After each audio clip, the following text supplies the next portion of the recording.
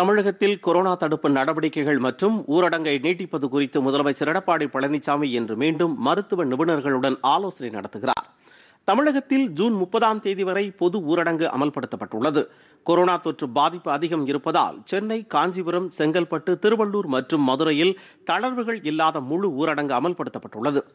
பொது ஊரடங்கு நாளையுடன் முடிவடையும் நிலையில் ஊரடங்கை நீட்டிப்பதா வேண்டாமா என்பது குறித்து மருத்துவ நிபுணர்களுடன் முதலமைச்சர் எடப்பாடி பழனிசாமி தலைமைச் செயலகத்தில் இன்று மீண்டும் ஆலோசனை நடத்துகிறார்.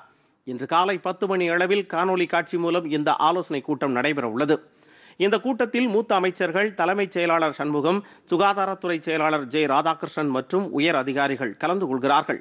இந்த கூட்டத்தில் கொரோனா தொற்றால் மாநிலம் முழுவதும் எழுந்துள்ள சூழல் மற்றும் ஊரடங்கு நீட்டிப்பு தொடர்பாக மருத்துவ நிபுணர்கள் அரசுக்கு பரிந்துரை வழங்குவார்கள் என தகவல்கள் தெரிவிக்கின்றன. அதன் பின்னரே தமிழகத்தில் ஊரடங்கு நீட்டிப்பு குறித்த அறிவிப்பு வெளியாகும்.